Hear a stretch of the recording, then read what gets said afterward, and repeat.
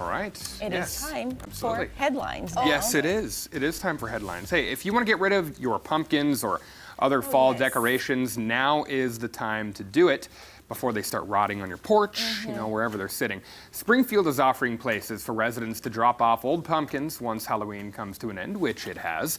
Gourd's corn stalks. It has. Thanks And- for clarifying. You're very welcome. Somebody's got to clarify stuff on this show. Whatever. Gourds, corn stalks, and hay bales. They're also accepted at all city recycling drop off sites.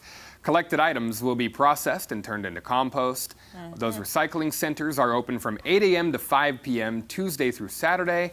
The centers, they also open 1 to 5 p.m. Sundays beginning in November. And if you want more information, all you got to do. Which is now starting today. Let me just yes, clarify that. Yes, it is. yes. Okay, I have a question. To play the devil's advocate. Okay. why don't you keep pumpkins on until Thanksgiving?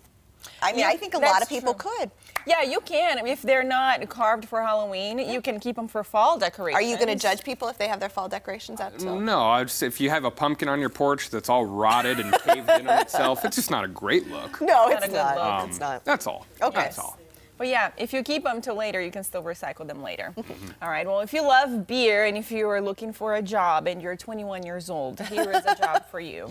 Um, a company is willing to pay you to visit breweries. Oh. The RV membership company Harvest Hosts is looking for someone to be its ale blazer. The new team member will have to visit the more than 500 distillery and brewery spots that Harvest Hosts has in the U.S.